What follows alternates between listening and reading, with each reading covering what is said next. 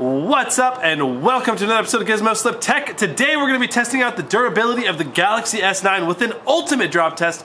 That means 10 drops, 3 lives.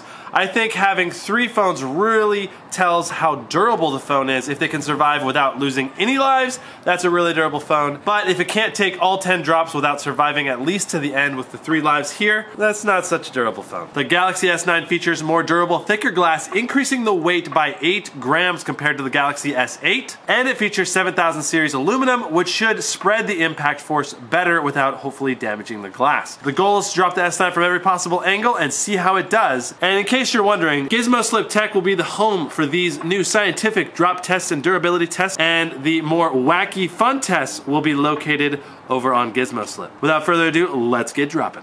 So, phone number one, here it goes. Oh, I love the lilac purple. First drop, bottom right corner. Three, two, one.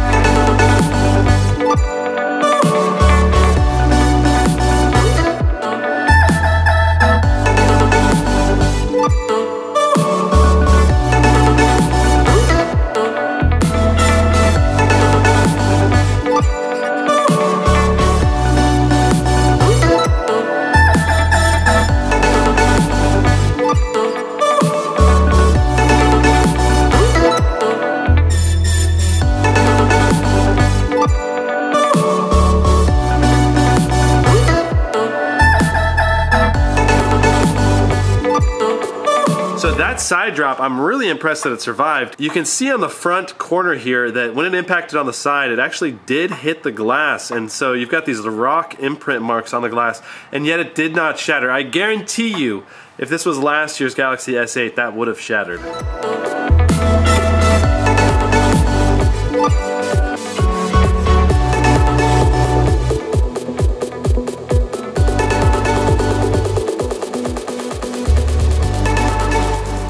Okay, let's take a look. Oh my god.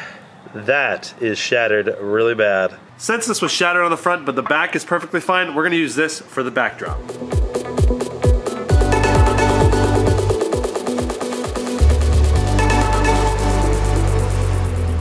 Backdrop in three, two, one.